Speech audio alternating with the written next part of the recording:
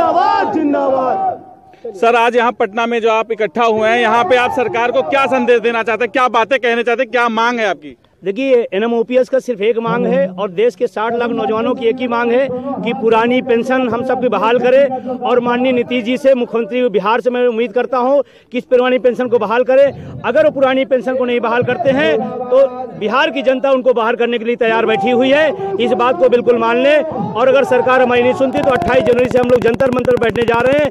और आज जो जुहूम उतरा हुआ बिहार के अंदर, पटना के अंदर, निश्चित रूप से आने वाले टाइम में एक बड़ा आंदोलन होगा और हम सब पुरानी पेंशन बहाल कराने की मांग करते हैं। सर क्या केंद्रीय कर्मचारी भी आपके साथ इस रैली में समर्थन देने आए हैं आपका? केंद्रीय कर्मचारियों में रेलवे का बहुत बड़ा डिपार्टमेंट है। रेलवे हमारे साथ पूरा है। ऑर्डिनेंस फैक्ट्री हमारे साथ है। तमाम सारे डिफेंस के लोग तमाम सारे लोग हैं। और पोस्टल के लोग हैं डाक के लोग हैं बैंक के लोग हैं। ये सारे लोग इस पुरानी पेंशन के लिए हमारे साथ हैं सर आज आज पुलिस ने भी पुलिस मेन्स एसोसिएशन ने भी आपका सहयोग दिया है। आज आप सरकार को इस इस एसोसिएशन के सहयोग से क्या अल्टीमेटम देना चाहते हैं सर? एक बड़ा घटनाक्रम हुआ बिहार के अंदर की पुलिस विभाग। जो सरकार का हाथ पाँव होता है एनएमओपीएस को उसका समर्थन दिया। मैं पुलिस विभाग के लोगों को धन्यवाद देना चाहता हूँ और सरकार को मैसेज देना चाहते हैं कि अगर पुलिस आपके हाथ में नहीं रह जाएगी तो आप व्यवस्था नहीं संभाल पाए और सबको पुरानी पेंशन बहाल करो सारे लोगों की डिमांड है। सर अभी आरबीआई ने भी ये कहा था कि एनपीएस धोखा है।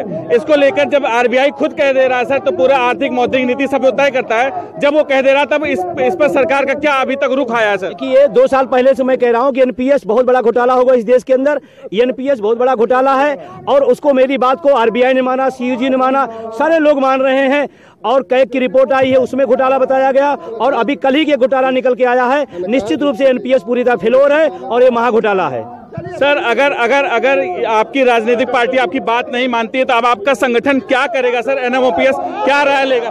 28 तारीख से 28 तारीख जंतर मंतर में लोग जुड़ रहे हैं। निश्चित रूप से सरकार को हमारी बात मानना पड़ेगा नहीं सरकार को बाहर जाना पड़ेगा। तो रेलवे का कहना अगर बात नहीं मानी जाएगी तो एनएमओपीएस जैसा करेगा हम करेंगे क्या? रेलवे चक्का जाम करेगा सर? हाँ रेलवे भी चक्का जाम करने तैयार हो गया है और अगर वो स्थितियाँ लाती तो निश्चित रूप से सरकार का जाम होगा।